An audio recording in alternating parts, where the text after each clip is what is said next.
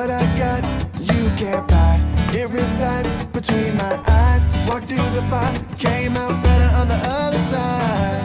See, life's like a beach if you find the right now. I feel like a hundred grand. You are listening to Inspired Insider with your host, Dr. Jeremy Weisz. Dr. Jeremy Weisz here, founder of InspiredInsider.com, where I talk with inspirational entrepreneurs and leaders like the founders you've heard of, some you've never heard of, the founder of P90X, Tony Horton. He talked about, you know, Chris, what I love talking about is the big challenges, you know, because we're all fighting through different challenges from even early age. He made money as a street mime. That's how he made money, uh, food and rent money. He put his hat on the street and he would do street miming. That's how he made money early on before he sold hundreds of millions of dollars with P90X. Baby Einstein founder Julie Clark talked about growing her company to 20 million with five people early on, then selling to Disney. But more impressively, she beat cancer twice. Uh, Atari founder Nolan Bushnell talked about how when he was Steve Jobs' mentor, Steve offered him 33% of Apple for $50,000 and why he said no. There's many more. Check out inspiredinsider.com. This episode is brought to you by Rise 25, which I co founded with my business partner, John Corcoran. Um, at Rise 25, we help B2B businesses connect to their Dream 100 clients and referral partners. And we do that because we help you run your podcast so it generates ROI. I know Chris is a big advocate of podcasting. He's a great podcast. You can check it out.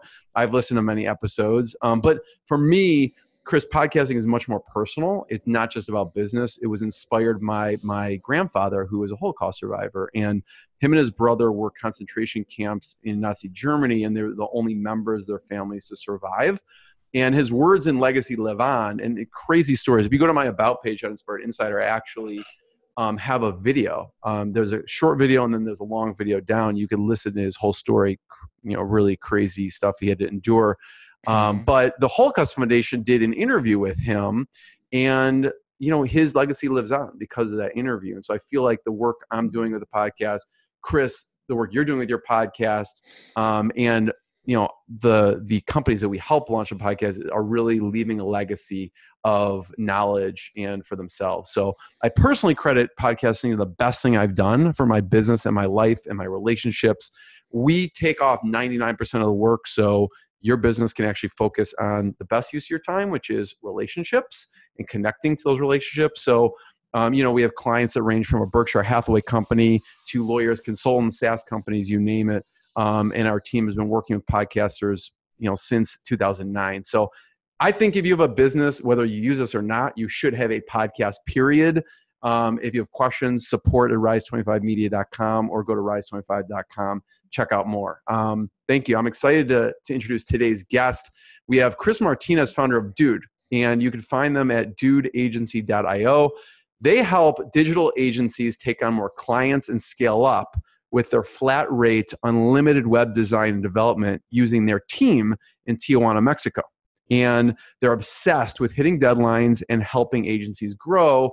They give you all the benefits. I love this part, Chris. You know, they give you all the benefits of outsourcing without the downsides. And we know, you know, st- you know, staying up till one, not hearing back, all those communication issues, you're you help solve those for companies uh, for agencies and they work with all types of platforms wordpress shopify clickfunnels lead pages aweber webflow many more. It just depends on your needs. You know chris thanks for joining me. Ah thank you so much for that introduction. And yeah. i think i'm pretty sure this is the uh, first time i've ever been interviewed by a doctor. So really? okay. thank you so much. Yeah you're welcome. Um, it's an honor. so, yeah, it's an honor for me too. You know, I've done a lot of research ahead of time, and I want to dig into. You know, I talk about the challenges, and we'll talk about some of those because you look at someone, you just see, oh, there was just always an upward trajectory, and there's times in your life that have been difficult, from tough upbringing to your. I want to hear about the lessons from your dad and all yeah. of that. Um, but I wanted to start with, um, you know, really, there was a point in your in your career that you had twenty dollars in the bank Okay, and, and again, like, and and less than that. That yes, less than that. But there was a specific point. Like, a, I think there was. I don't know. It was a breaking point or like a, a turning point where you had twenty dollars in the bank. Yep. Um, and just talk about that for a little bit, and then you know we'll we'll dive into what you do as well. Yeah, well, I've actually been broke uh, a couple times. So the first time, you know, my dad died of cancer. He had pancreatic cancer. He was diagnosed, and he's dead in a month. Sorry, died three that. days before yeah. my 27th birthday. Um, and you know, for me, um, and maybe we can talk about the childhood stuff, you know, in a second. But uh, for me, I, I never really had that traditional father-son relationship, at least that I saw on TV. You know, so it, it, when I was when he got sick, it was right around the time when I was started when we started to connect um on a deeper level you Mm. know like he was seeing me as a man and he started to comment on my you know the work that i was doing and i started to feel that admiration and i could relate to the things that he had done throughout his working career and then you know within a month it's gone Wow. you know it was just it happened that quickly. yeah he was diagnosed on i read i think it was Jeez. december 9th and he died on january 10th um and so you know that just rocked me uh and It's shocking. being a guy, and I'm speaking to all the other guys out there who uh, uh, were always taught, you know, guy boys don't cry and just suck it up, you know, like uh, that was the mentality that I had, and I Mm. took all these emotions and I just shoved them down. And what happens, um, maybe not for everybody, but it happened for me, is that that stuff is not, you know, it's still there and it bubbles up to the surface, Mm. and oftentimes it would come out in ways that I didn't like. And so, um, you know, after my dad died, I decided, you know what, I'm going to start this soccer magazine. I've always been a soccer player. I love the game. Um, and so I said, you know, I'm going to start this print magazine at like the worst time in history. I didn't know anything about running a business. And so I started this, this magazine and I, it just completely flopped. You know, it, it, it, I failed miserably and all due to me, you know, like looking back at all the stupid mistakes that I made, I was like, well, no, no wonder why it failed. What would you do differently now? Oh man. Um, well, one, I needed more capital. Yeah. Um, what were the mistakes two, you made? I, I shouldn't have done a magazine, right? It was right. 2007 is right at that period where things are starting to move to Mm. digital. So it was a print magazine. It was a print local magazine, regional magazine. Hmm. So um, I would have done a blog. You know, I would have invested in learning more about digital marketing and um, creating content, and you know, like sourcing other writers. Because one the other big thing is I try to do everything myself. And and so you know, there's all these little mistakes, not understanding the actual business side of it, thinking that you know if I build it, then people will like it, not really listening to what the market wanted all these mistakes that I made. And so, you know, within 18 months, I'd lost everything. And emotionally, like I was just in a very, very bad place. You know, like my my response to emotional and physical pain is anger, right? Mm. And I I like I've always been kind of like a fighter, like a brawler. so um, I would lash out at everybody and I hurt everybody and um, you know, alienated myself from everybody. I was not a pleasure to be around during that time period. So I don't blame anybody for like creating distance because I was a nightmare. But um, you know, from a financial standpoint, I, I had to get a job, right? And so I had two interviews. I, I had always done sales, so I knew that I could get another sales job. So I got a sales job basically working for this charter bus company that was based in Seattle and they gave me a decent salary plus commission so i was like okay you know like this is going to be good i'm going to be able to turn this around so the first week that they trained me i went up to seattle and they put me up in a hotel and they paid for all my meals and you know so they took care of me so i didn't have to worry about money but then you know come that friday i was scheduled to fly home back to la and i'm like freaking out in the morning of course nobody knew but I'm freaking out because I had no idea how I was going to get home from the airport because I didn't have any money. You know, the airport ride from LAX to Hermosa Beach where I was living was about 36 bucks and I didn't have $36. And this is Mm. before Uber, you know, like so I didn't know how I was going to make it back. So, fortunately, that morning somehow I fell into a pay period and they gave me a check for like 300 or 350 bucks and I was like, "Oh my god, this is the most amazing paycheck that I've ever had." Because Yeah. if you've ever been that broke, and then by some miraculous, you know, whatever, you wind up getting some extra money, it is like mil- it was like a million dollars. It was like, yeah, it, it, it gives you the breathing room to know that you can survive. And I had figured out how to survive. You know, like ninety nine cent store spaghetti. Um, you Yeah, know, I talk lived about off of what that. did life look like then on just surviving. You know, Um, it, it's it's hard to describe it because um, at, my mental state at the time was that I really enjoy. I like. It's hard to say it and and make it sound like may, maybe like people won't relate to it or it doesn't sound right. But I embraced that pain. I needed that pain because that was the connection that I had to my dad. Mm, See, now you're gonna make me cry. yeah. yeah. It's, um, you felt that connection to your dad because of that. That's all I had left. That's all I had left at the time. You know, um, the life insurance money that he had left me gone, and actually, I was uh, relieved when it was gone because I felt like that was blood money. Mm, I had a lot of I had a lot of Yeah. guilt around it, yeah. and so um, you know, like I would go to the cemetery like every single week and just sit at Mm. his at his side. Yeah. A- and so like the pain and the anguish was my connection to that experience because I wasn't ready to to move on.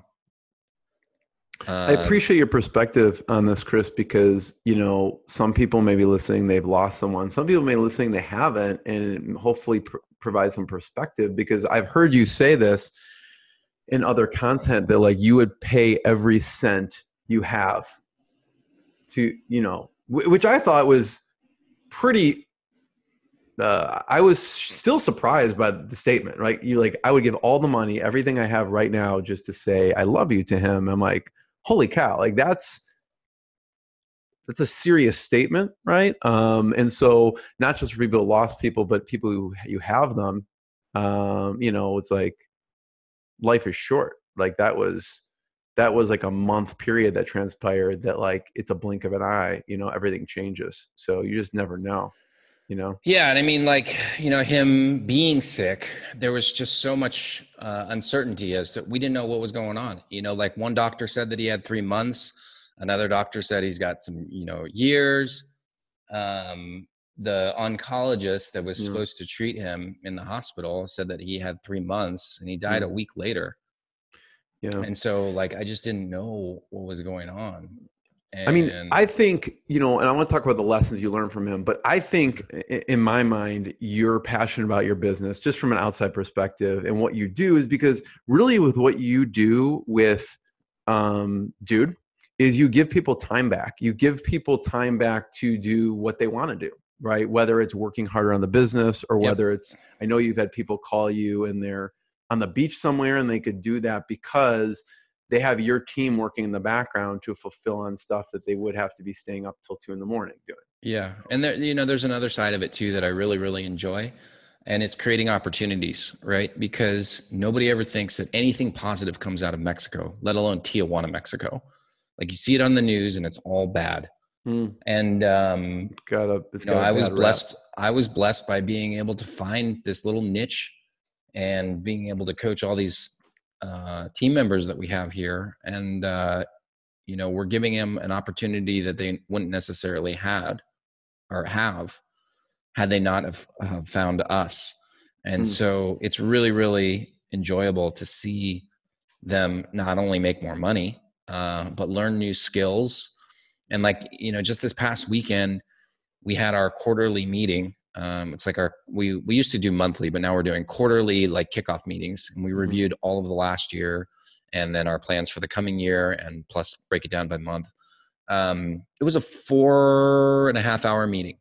Uh, we spent three and a half hours on personal development, Hmm. goal setting, showing them how to, you know, create a plan, Hmm. um, literally walking them through, Yeah. you know, like visualization. What do you picture your life like, you know, in 12 months? What do you picture Mhm. your life like in 12 weeks? Let's do an assessment of what's going on right now. You know, three and a half hours of that. And it's because I've been blessed in so many ways by learning a lot of these techniques. Um, Mm-hmm. you know, been like blessed by people that I've known and that have helped helped me. And uh, you know, I, I feel a sense of duty to be able to pass that on to these people in Mexico. What's been impactful for them um, as far as what do you go over as far as goals and personal development or certain books that you recommend and um, i want to recommend um, and, and, you could you don't have to answer me now but i had david long on david Mm-hmm. long is a book and about culture and companies and he may be a great guest for your podcast um, Oh, yeah. so i'll That's awesome. I'll send you his info, but everyone should check out. We did, you know, I did an episode with David Long, who we talked about this and um, as well.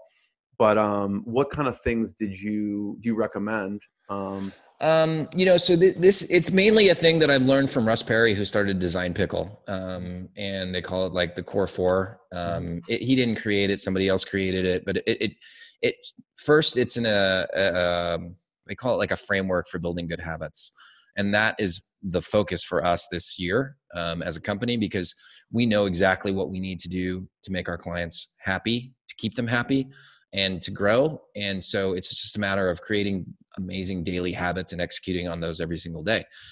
So, you know, we talked about creating good habits in four different areas of your life. So, uh, the first one being your body. So, your physical being, you know, this shell that houses us that we have to take care of because we only have one. Yeah. Um, you know, making sure that that is okay. Your mental state is uh, is the second one, and then your relationships with other people, and then ultimately your business. And as entrepreneurs, we always tend to focus on the business side and say, okay, if I just make more money, then I'll be able to, you know, take my kids on a vacation, and then they'll sales like me. cures all type of thing. Right. And then if I, and then if I um, do that, then I'll feel happier. And then I'll finally, have, you know, have some money and some time to be able to invest in that personal trainer. The reality is it doesn't work like that. You have to start at the top, at the body, and then get everything else in alignment, and then your business will fall into order.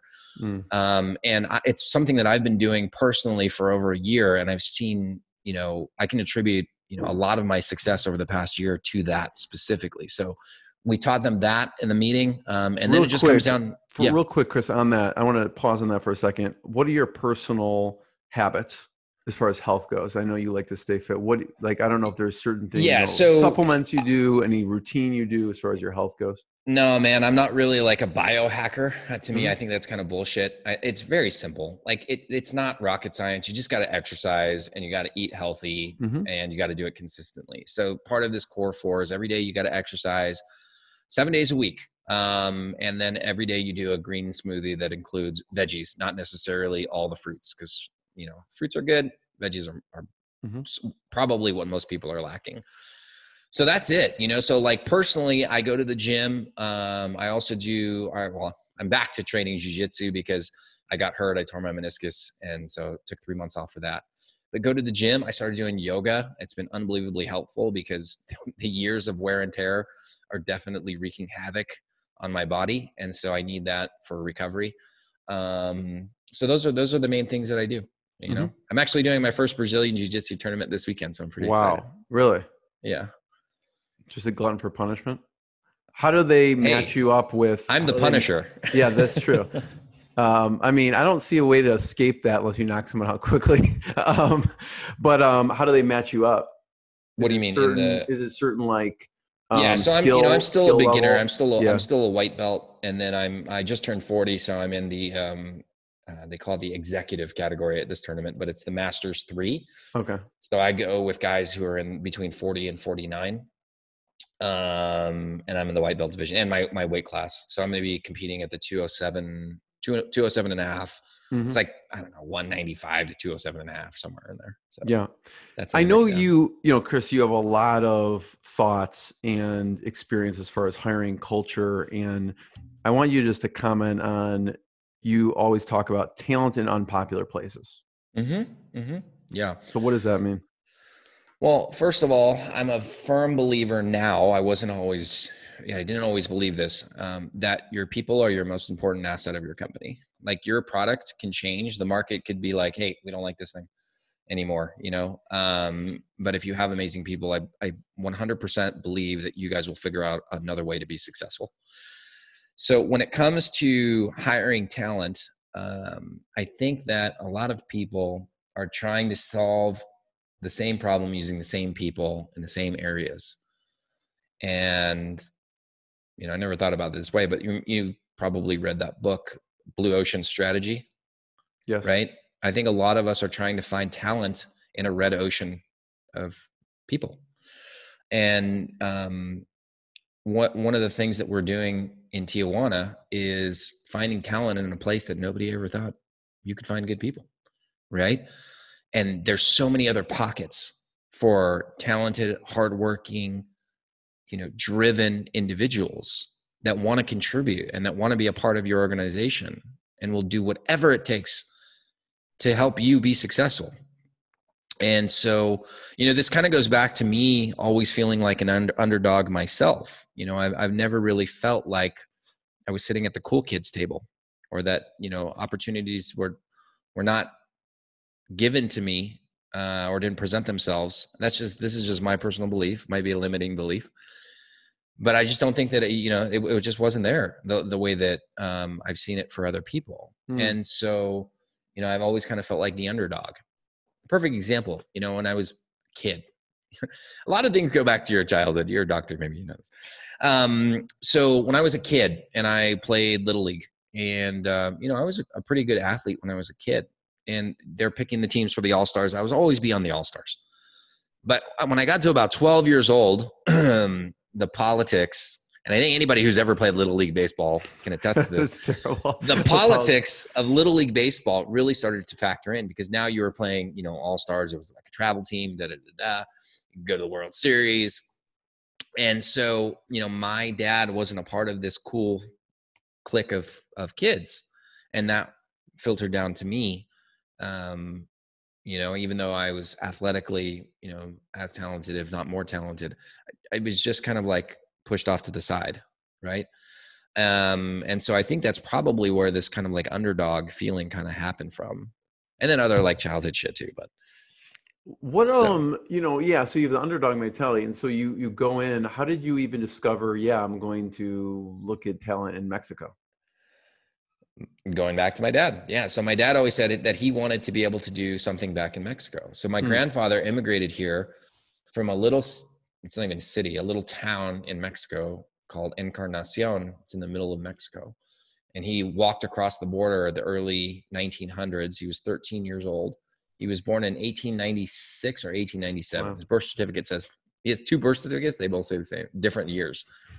So he walks across the border, um, eventually makes his way into Kansas um, and meets my grandmother. Places. Yeah. Well, at that time, American factories were recruiting people from Mexico to come work in mm-hmm. the factories because mm-hmm. they didn't have enough labor. Mm. You know, um, so grandfather took the you know 13 years old, just like all right, I'll go. You know, and so um, eventually meets my grandmother. They have kids, and so that that's kind of like my Mexican heritage. So my my grandfather could speak English, could not read. My grandmother could not speak English, also could not read. Uh, my dad was the youngest of eight, so he grew up in a very Mexican culture, wow. you know, in in his in his household. And then uh, he always wanted to go back and do something in Mexico. So I had started a digital agency in 2012. Like many people, I went to the Philippines, had all my staff there.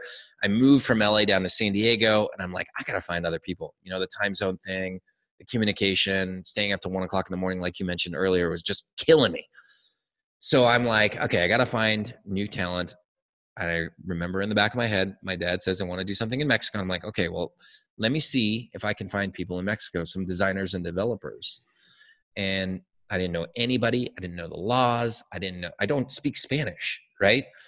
And basically just took the leap of faith and ended up going down there and started a company, figured that whole mess out. Um, went through, you know, hired people, figured out the culture and hiring and like things are there's a lot of little things that are very different that can make a make your life not very pleasant if you don't know them hmm.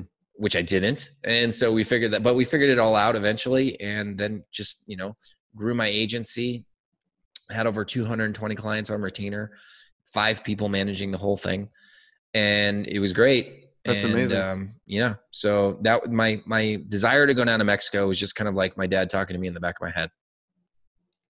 Where are there other unpopular places that come to mind? Either you use them or don't use them, as far as finding talent. Are you talking about in Mexico or in the U.S.? No, or? in U.S. Anywhere. It could be online, U.S., Mexico. Well, here, here's the big shift that I hope that if there's anything that anybody gets from this um, interview, it's stop hiring for technical skills, hire for soft skills, hire the person. You need to look at their values.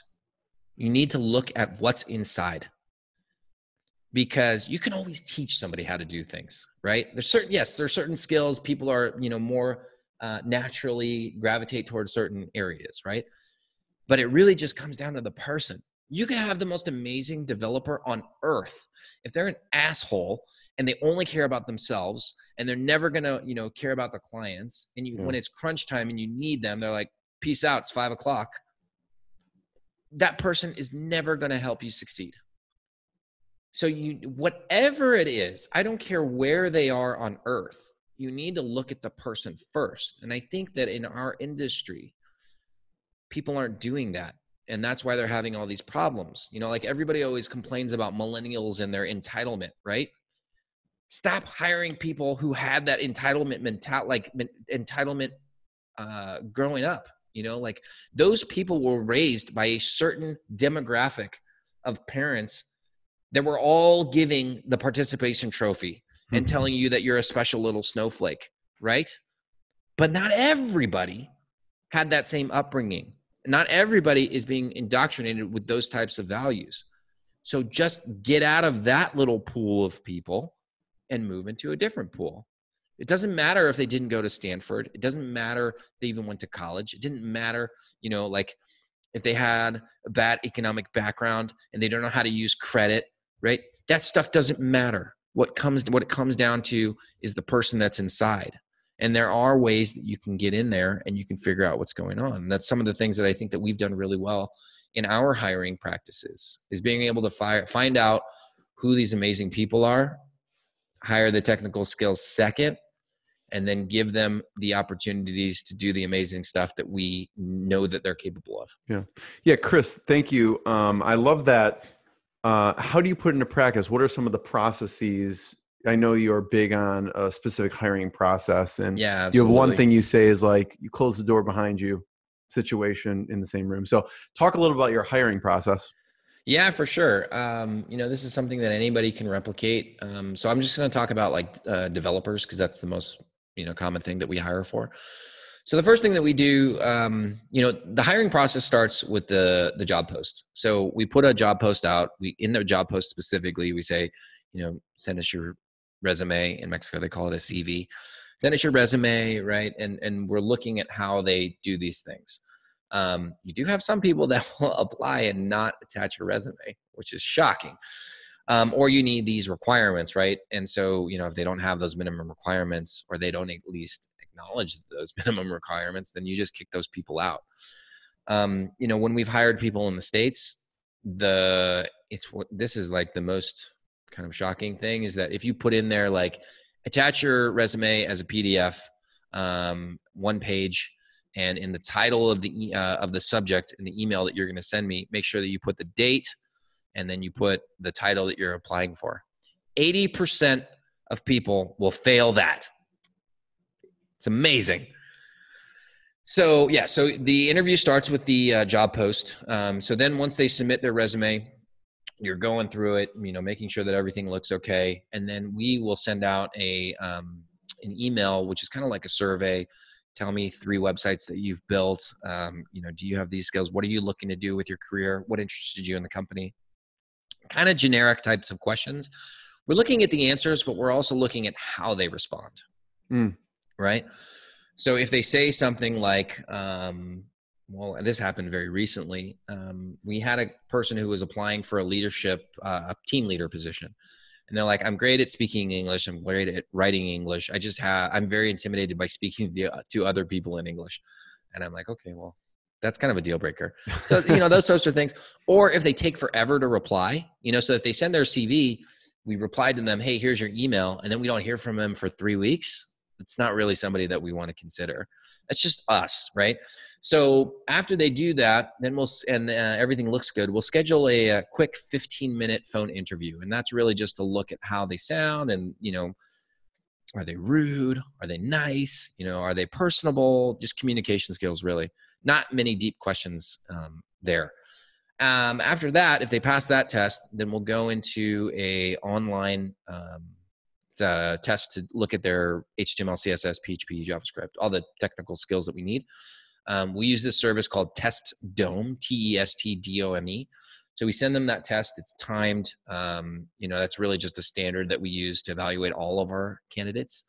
Uh, and so then we give them that. They have to finish it in a certain amount of time. If they do that and they pass it, then we'll bring them in for an in-person interview. In that in-person interview, we interview. We have them interview with at least four people.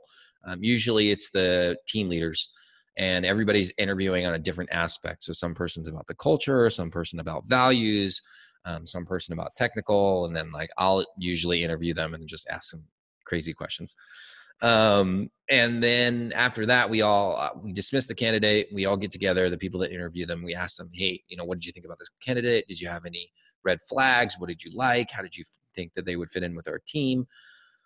And it just becomes you know like a, a discussion and and you know at the end of that all of us have to agree on two things that this is one this is somebody that we would want on our team and two that this is somebody that we could see ourselves working for one day hmm. if any one person says no we exclude that candidate.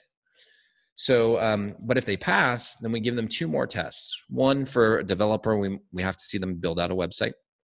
And then the other thing that we do, which has also been a game changer, is we do what's called a psychometric psychometric exam. And this looks at specific to the position. Are there any red flags? You know, what's like kind of like aptitude type of thing, but more so about values and behaviors. Mm. Um, it's an online test um, Ray Dalio, I just learned Ray Dalio does uses this for his hiring process. process. And so um, we use that, and that gives us a better and even deeper snapshot as to how they would perform in the environment, um, in the work environment. So if they pass all those, then we make that offer. And so a lot of people might be thinking that that's a very long, drawn out process, and I, I need somebody now, and I can't do it. First of all, like never make the wrong hire. I've done it before. It's going to bite you in the butt it's going to be way more painful. Don't make hires out of desperation. Um, but you know the the cool thing about this is that after the candidate has gone through all these steps, they're very very invested in getting this job, and you get somebody who's super excited to work for your company.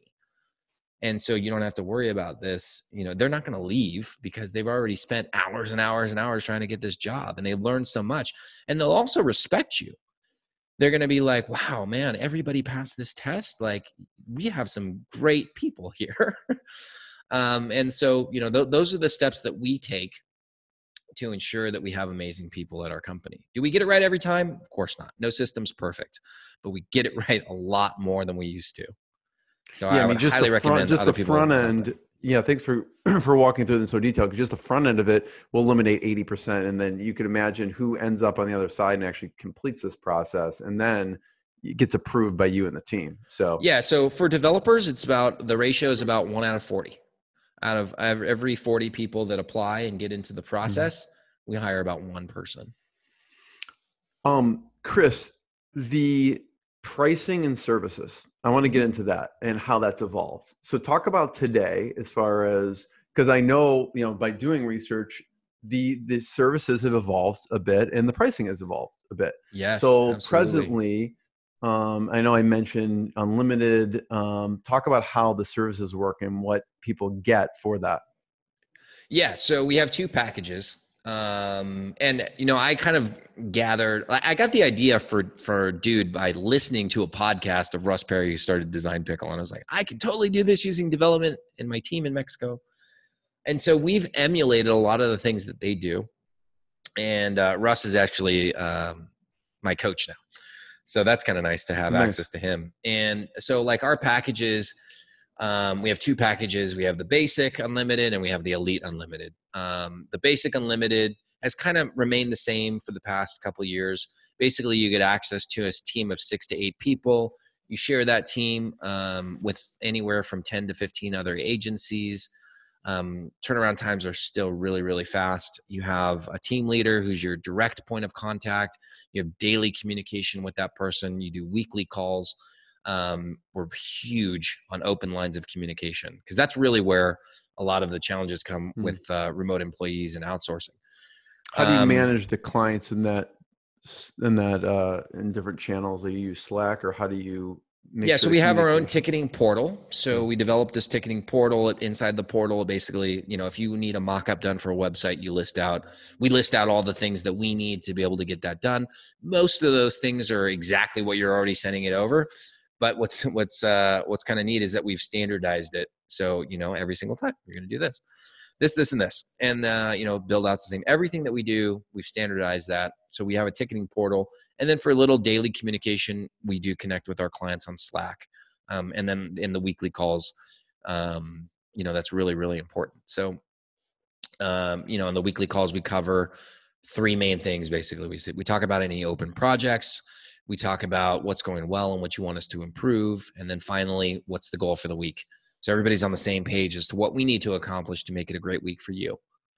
Again, you provide a lot of support like when i when i look through your website and i see yeah they do unlimited webs websites design funnels landing pages it's it's Yep. way more than that because of the the calls you provide and even training related materials we invest a lot of time and resources at the beginning because if we do that everything is going to flow so much more smoothly you know because it's kind of like hiring a new employee right? That first couple months they're learning your processes how you guys communicate all those things your styles you know?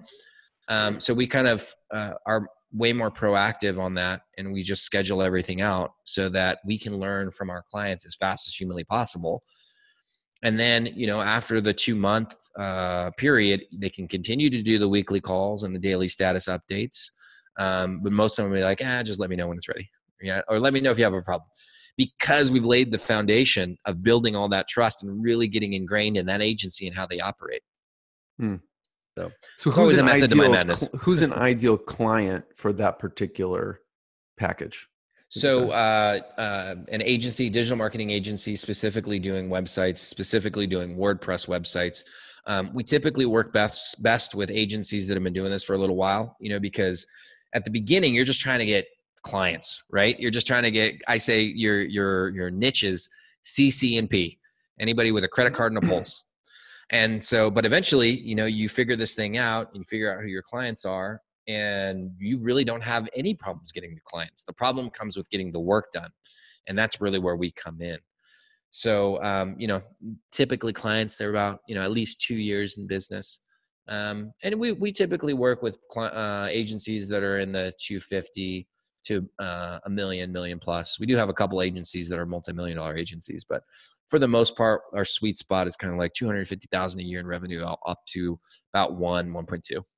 Do you find, Chris, that agencies that come to you are doing the WordPress, they just want to offload the work, or um, are there a more percentage of they're doing maybe Facebook ads or something, something maybe not related to websites, and they want to add a revenue stream on? Or almost everybody is doing a marketing program and that's why it's so important to have these systems and processes which we provide to help you get these websites done quickly because for a lot of agencies the web, the margins on the websites are not that great you know? It's almost in some well i hope it's not a loss leader for everybody but in many cases it's a loss leader right? Just to get these marketing programs going and it's also the hook.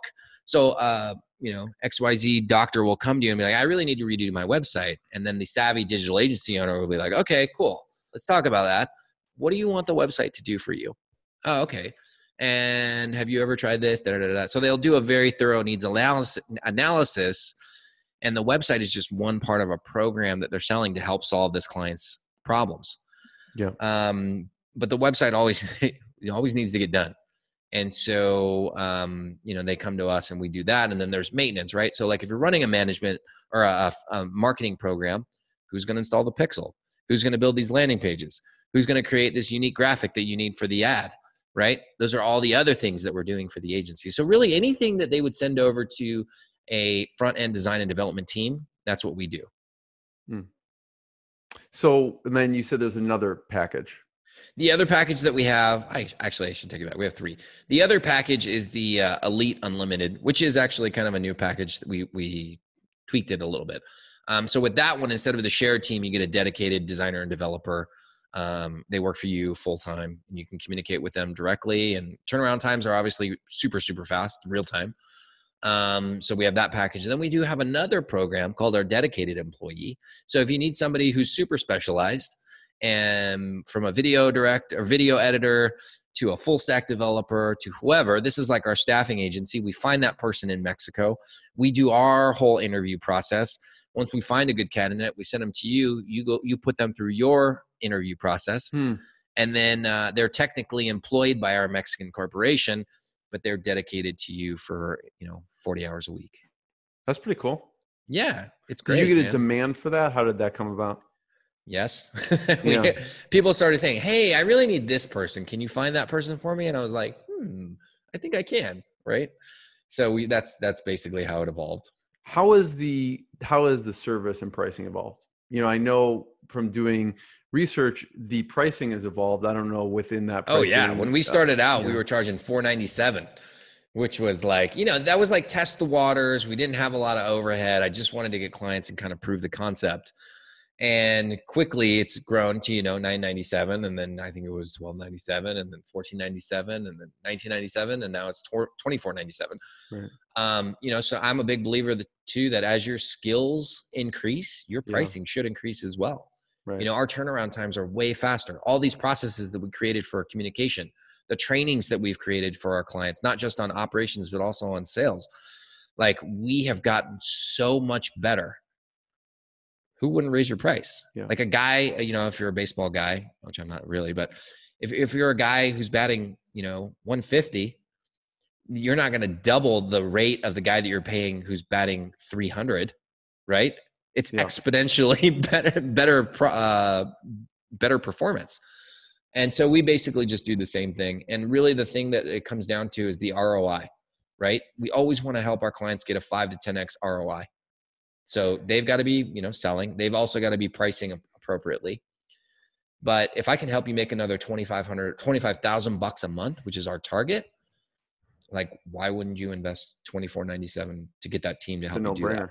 Yeah, it's a no-brainer. Yeah. Everybody I think I saw deal. four because I saw four ninety seven. I think he left off a two because when I see your page now, but it was just like some old post from from the old days. Yeah, you know? those old days posts are out there. What, um, What do you tell clients from a client management perspective? Do you um, when you're raising your fees? do you Well, grandfather this is in? Do you, you all of our exist yeah our, our old Yeah, do you- clients our old clients get grandfathered in Wow, so we definitely thank so our pays clients for that. it- yeah, it pays. It you know they thank you from you know they support you early on, but you thank them in the end because they're Oh, getting yeah. a, a steal of a deal.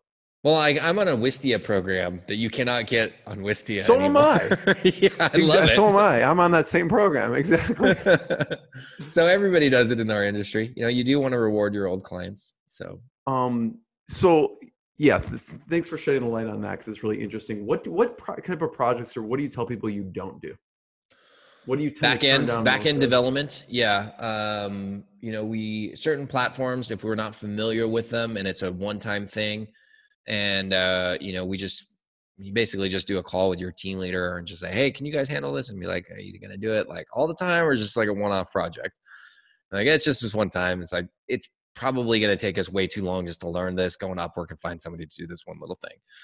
Um yeah but you know mainly just back end development um we don't do like magento uh, certain levels of shopify you know if it's a custom theme fully you know custom developed inside of liquid that's just not really our, our wheelhouse um, but the best part about us is that you have that relationship with your team leader so just ask you know Yeah. yesterday that came across um, one of our team leaders desks and what's really cool is because that shows that the client like trusts us and values our opinion so she's like, "Hey, I've got this project, and they want to do this, this, and this." And I'm like, "Can you guys do it?"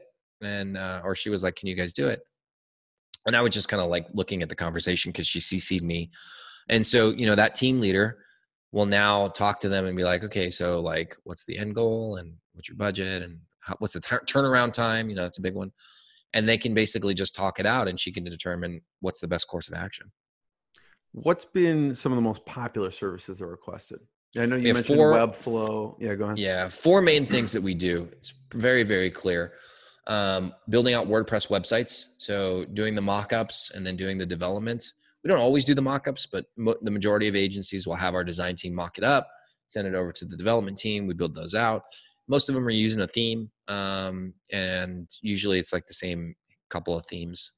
they can use whatever theme that they want um yeah but that's what you know the majority of what we do is that and then second would be updates and changes to existing sites so stuff breaks stuff needs to be added stuff needs to be taken off johnny got fired whatever you know so we do all that stuff plug in updates backing up the site site speed optimization all those little those little things we do that so that's the second thing third thing is landing pages and funnels, whether that be in ClickFunnels, Leadpages, or WordPress even. Um, we do those. And then the, the fourth thing is design work. So digital design. We do everything digital, banners, um, ad graphics, whatever. The only thing that we don't do are logos, big, big ebooks, and uh, print. Chris, someone's listening right now. They're not an agency, but they're like, I want to use Chris's services. Um, and maybe like I need a ton of landing pages, ClickFunnels, websites. What is how do you handle those people? I get their information and then I figure out one of my clients who would be the best fit. Okay. Yeah. We're super deep into our lane, like we stay in our lane. And um, I just know from running an agency that I don't have the time to be able to dedicate to these people to help them be successful. I'm a huge lover of the small business owner because I'm a small business owner. I know how hard it is, and I wouldn't shortchange them by trying to take on a project just because they threw a bunch of money at me. Yeah.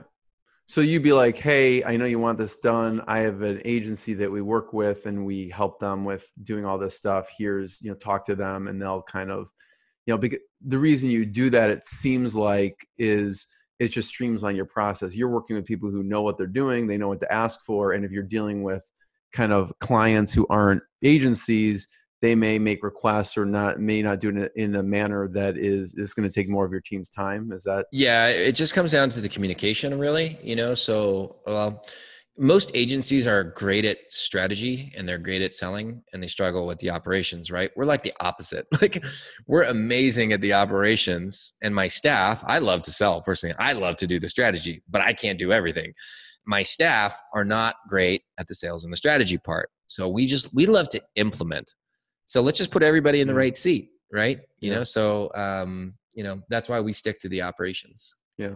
I agree. That's kind of how we are with the podcasting too. Yeah. Um so, you know, for you I always end Chris uh, first of all, thank you for your time and oh, uh, you. knowledge and sharing this. Is you learn from a podcast um, you know, with Russ's, and now he he's coaching you, and it's helped your business. Um, I've had people listen to, and they may listen to you, like who have become, you know, board members of that person's company, or they've become friends or clients or whatever it is. So I'm sure people get a lot out of this.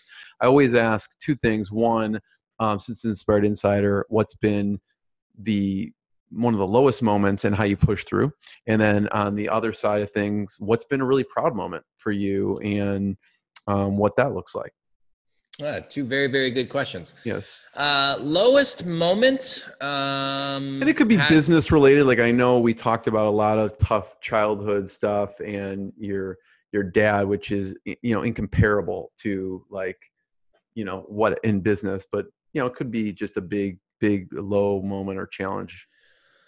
Well, this is the thing, you know, like I feel like I'm a pretty tough guy, right? And I can get through pretty much anything. And the reason that I've been able to develop this toughness is because of all of the challenges that I had when I was a kid and, uh, well, and a young adult too. You know, so like going through those things shaped me and gave me the strength to persevere through a lot of the crap that we had to deal with, you know, growing a business. Any entrepreneur will tell you that there is always something, some something's broken, something needs to be fixed, some challenge, um, unforeseen challenge. Um, there's always something that we have to overcome. And so, you know, when it comes to some of my biggest or my my one biggest obstacle, uh, I, I would have to go back to you know, a couple years after my dad died, I was broke, no money. Um, you know, I, I was just on the verge of getting a job and I just had a breakdown. You know, like I was just so angry inside and it was just a moment, something super stupid set me off.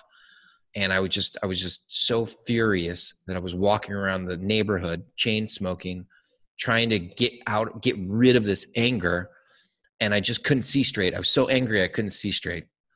And, um, and then I realized, you know, like, I don't want to live like this. Like, I don't like this person that I am. And I need to figure out a way uh, of how to deal with this. And so I reached out to a therapist.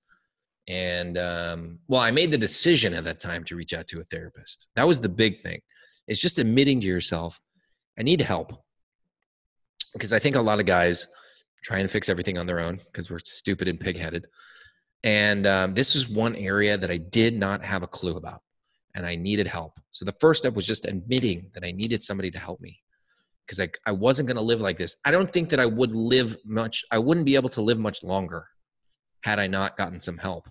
And so I made the decision that I was going to find a therapist. And back in the day, you know, I went on Google and I just started dialing, you know, because I didn't know who to look for just started dialing, you know. And then uh, the first person who called me back was this woman named Susan. She was based out of Manhattan Beach. She was an amazing, uh, she is an amazing human being. Um, I'm still in contact with her. We talk at least like once a year or message. And so, um, you know, I went to that appointment for therapy and uh, didn't know what to expect. It was an intro appointment, so you don't really get into much deep stuff. And at first, I didn't really like her but then as I started Why? to think about it more, because she's a ball buster, man. Yeah. You know, like I can be fairly stubborn. And at that time I was you definitely someone like that. Exactly. Like and the the moment that I realized how much I needed her, we were talking about I was talking about something, I was, you know, blaming everybody for my problems or whatever that that whatever in that moment was bothering me. And she's listening, you know, being very um just just listening, right? which is rare. How many people don't have anybody to listen? So she's just listening. And then at the end, she's like, Well, you know, how's that working out for you? I said, This is hmm. the way that it is, or something like that. And I can't change that. And she's like, How's that working out for you? And I was like, You fucking bitch. How dare you say that to me? It's amazing how one sentence is. Yeah. Yeah. I'll never forget it. And then I walked away from that and I was like, She is 100% right. You know, like I'm doing it so wrong. Yeah. It's funny, you know, Chris, you know, that's what my wife does. She's a child psychologist. Oh, wow. And so she works with kids who are going through divorce, separation, you know, uh, death, illness, anxiety, depression. So I've gone um, through all those. yeah. So, um, you know, she never shares names or identities, but I hear smitterings of that stuff. And it's, it's like, the it's so it's it's life changing to have someone to she saved my life man. she saved my life. My therapist yeah. saved my life. I wouldn't be here if it wasn't for susan. Yeah. So i'm glad you decided to you know most people i think and a lot of people maybe not most people don't have the courage to actually just you know admit they need help and get it you know to, to varying degrees. Like we all yeah. have different degrees of that so. Well, the uh, you know the the reality that I was facing at that time is like I get help or I die. What's it? That's what those are your choices right now. What do you want to do? Yeah. And I don't think my dad would be very proud of me if I killed myself. So no. Um, thanks for sharing that. It's really you know um, really touching and uh, is takes a lot of courage to share this stuff. You know, so other people can learn from it. Um, and what about on the flip side? yeah the, Proud, the proudest moment yeah oh i don't know um proudest moments probably also not necessarily business related there's so many little things that we're doing at our company every day you know we're celebrating some some win but i think probably one of the proudest things that i've ever done on the personal side too is um, you know i was a mentor to a kid named patrick um, his mom died of cancer in 2012 hmm. december 8th 2012 and Patrick was 13 at the time, and um, basically, you know, like I was just there for him, and he graduated How did you high know school. him? Through a charity. There's a charity in Los Angeles called Walk with Sally, and um, the founder Nick, he had lost his mom to cancer when he was 13, and he's like, I wish I just had somebody. So I heard about this charity. I was like, I got to do this, right? My dad had been dead for five years. I was like, I got to do this. Get matched up with Patrick. You know, it was like instantly we became buddies and uh, then his mom died and then i was like you know i gotta i gotta help this kid i gotta be there for him it wasn't always easy You know, he went through some really, really dark times as well.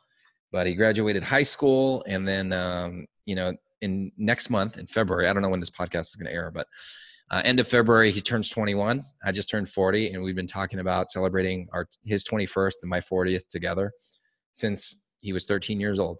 Hmm. So you know, we're finally going to be able to do that. That's awesome. So, yeah, and then he's a great guy, great, great human being. Uh, I am inspired by him constantly. What about from the team? I know you're probably a lot, uh, very proud about as far as the culture and hiring and the team. Is there something you can talk about as far as a celebration you did with the team or a milestone of the team as far as culture goes? Oh man, um, it's hard to say because there's so many little things that they do that always like. What do you do to celebrate, proud of. like with the team? Um, and it could be maybe on a monthly or quarterly or yearly basis. What what things you know you always hear that some companies they'll ring a bell if something happens or what i don't know if there's a internal celebration or slack channel or something you do to celebrate certain wins internally Um, it usually revolves around food. Okay. so we do like a lunch, um, cakes. Like they always go out for beers. The the culture is way different here in Mexico. So like going out for beers with your boss is like unheard of. But I love it when they get together, when they go have fun together. Mm. You know, because they're so tight. It's rare, you know, that you have any organization of 30 plus people and everybody gets along that there's not cliques, right? Everybody in our office gets along. And while I might not always be invited to go to the celebrations, it does make me really happy when it's Friday and you know all the the the ladies are getting ready to go out and the guys are like, you know, planning the bar that they're going to all go to and they all go together. Yeah. Like to me kind of like you built like a family Exactly. Yeah, and I've said that, you know, in, in our meetings in the past. I was like, we are the band of misfit toys. Like we are if you've always felt like you're an outsider, that things don't have to be the way that everybody else in society tells you it has to be. If you're looking for that place to call home, like this is it. This is your family. And we've created that. Chris, I want to be the first one to thank you. Everyone should check out dudeagency.io. Anywhere else we should point people towards online? Uh, dude agency. I mean, our Facebook page and our Instagram page always have fun videos too. So, you know, we have a full time video marketing team. So they're always coming up with some cool stuff. Like, for example, one of my favorite videos we ever did was uh, Real Mexicans Eat Fake Tacos. So they eat Taco Bell for the fa- first time. that was a really fun one. Okay, we'll have to check that out. Link up that that video somewhere. Um, Oh, yeah, for sure. Everyone, check out dudeagency.io. Thanks again. Thank you, Dr. Jeremy. What I got, you can't buy. It resides between my eyes. Walked through the fire, came out better on the other side. See, life's like a beach if you find the sand. And right now, I feel like a hundred grand.